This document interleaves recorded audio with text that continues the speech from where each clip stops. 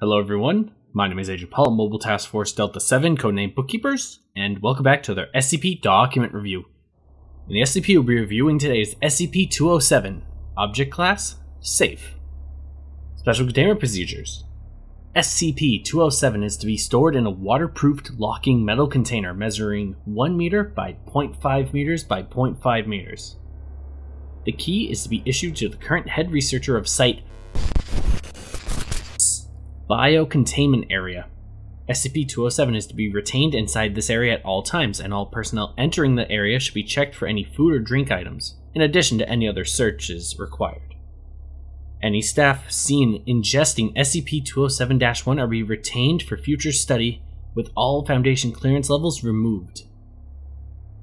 All vending machines in site are to only dispense clear carbonated beverages. Any variation from transparent is to be investigated immediately. Description SCP 207 refers to a crate containing 24 Coca Cola brand cola drinks. The bottles are designated SCP 207 A to X.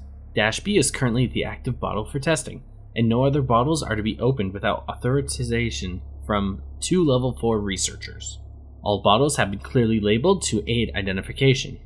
The liquid held inside these has been confirmed to be identical across all of SCP 207 and should not be ingested outside of supervised testing. The liquid has been classified as Dash 1 and is to be treated as a Class 2 chemical hazard. Dash 1 does not appear to alter with age, however, the active testing bottle should have its protective cover kept on outside of removing liquid for testing. Mass spectroscopy and chemical tests have shown higher than usual concentrations of caffeine and sugars, both natural and artificial, along with the practical effect of this is when a subject drinks Dash 1, they will effectively no longer require sleep or rest, nor attempt to sleep or rest. This effect is not lessened by any soporific or medication yet tested on test subjects. However, only a quantity larger than 5 milliliters will cause this effect. The reason for this lower boundary existing has not been found, although it is hypothesized by Dr. that as such, unless authorized by two level 3 researchers, only 5 milliliters of SCP-1 is to be used for testing. Amounts higher than this have shown no difference in effect, with the exception of the subject SCP-207 was recovered from. See addendum. In addition to removing the need for rest, Dash 1 also causes an increase in motor, reaction, and psychological functions. This increase is linear in progression with an estimated 50% increase measured by standard medical protocols, plus or minus 5%, every 6 hours. The practical application of ingestion is that the subject is able to think, react, and move faster than others who have not ingested Dash 1. Mental proficiencies show the IQ of the subject rise in line with other increases. However, Dash 1 does not alter the body of affected subjects. Physiology remains unchanged and, as such, can rarely support the increase in activity. No subjects have lasted longer than 48 hours during testing, with the cause of death varying from massive internal organ failure to exsanguination due to major artery ruptures. Subjects also begin to show stress after roughly 24 hours, usually making each movement extremely carefully in order to avoid accidents.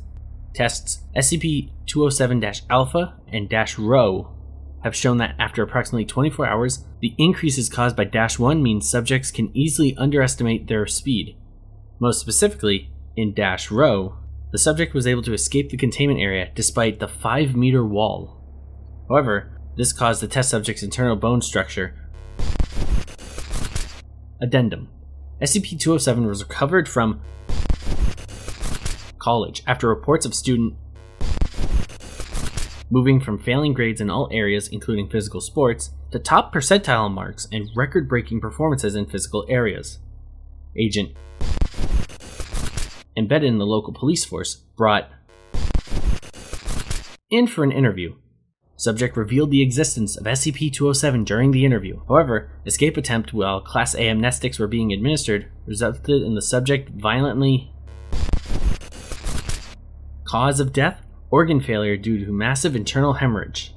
As Dash A was empty on recovery, is believed ingesting a full bottle SCP-207 recovered from subject's home. Dash A already empty.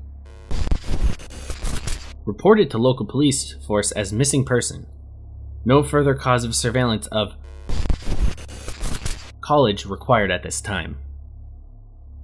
This is another one of the classic SCPs. Well, everyone, that's it for this week's document review. Thank you so much for listening or watching, and my name is Agent Paul of MTF Delta 7, and I will see you next week with another document review. Bye.